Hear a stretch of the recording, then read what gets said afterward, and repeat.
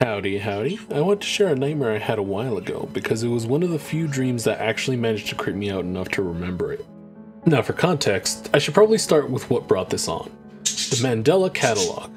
To be clear, I'm not really into analog horror. Generally, I find most analog horror projects lean too much on the format and forget to create a scary concept that stands on its own.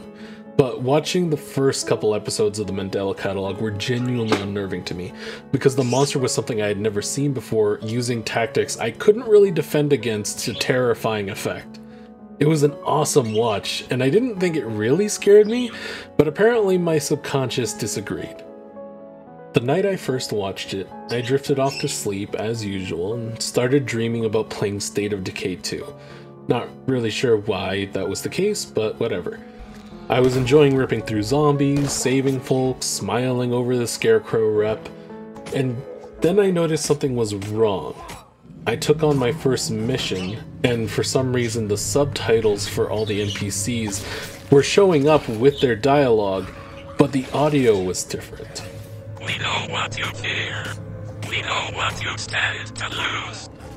Rather than hearing character dialogue, I would hear Gabriel whispering to me through my speakers. Another friend lost.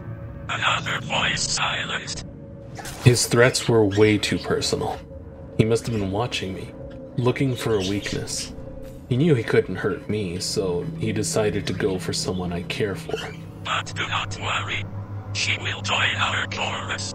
And you will follow after her. We will be one. We will be one. We will be one. We will be one. We will be one.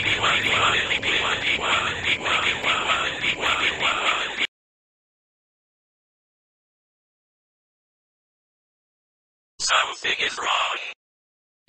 I spent the rest of the night guarding her door.